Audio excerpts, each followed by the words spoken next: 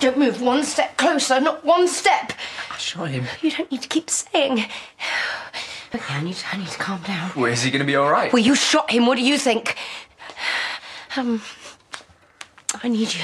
I need you to put the gun down. I need you to put the gun down carefully.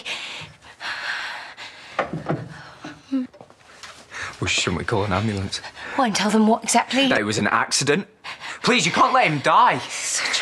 a mess. Okay, honey, I need you to listen and do exactly what I say. Do you understand? Yeah, I need to hear you say it. Yes. Okay. I need you to go in the kitchen and um, find the cloths and the, the, the washing up gloves and the bin liners. Why? And then when you've done that, I need you to go upstairs and get changed and then put your clothes in the bin bag and bring it back downstairs. And do it now, please, because we haven't got much time, so hurry. Yes, I need an ambulance, please.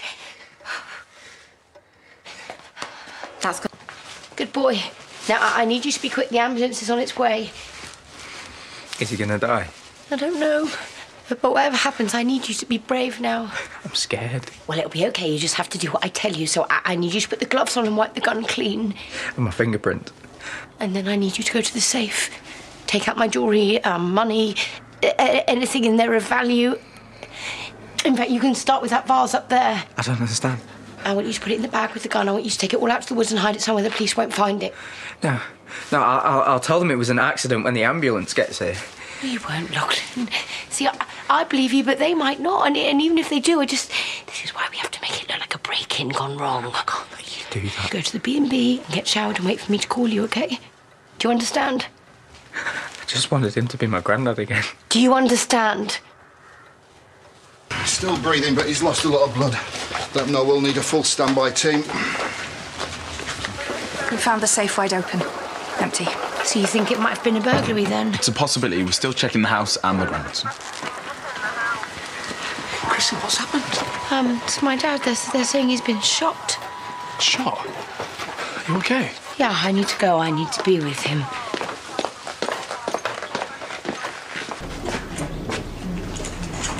Mum? The doctor has some news. Um, is my son. I see. Well, as I was saying, your father's lost a lot of blood. But you can deal with that, right? A pellet of shot has caused a small but not insignificant rupture to the abdominal aorta. How, how serious? He's been taken in for surgery as we speak. They'll do everything they can. But I'm afraid that's all I can tell you right now. I'm sorry.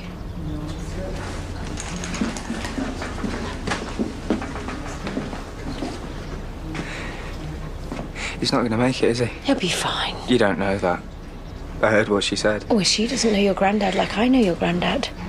Listen, everything is going to be okay.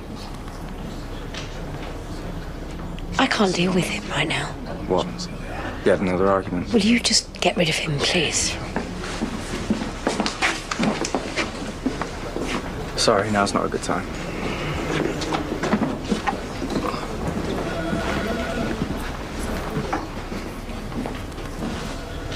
So you did do everything I asked. Exactly like you said.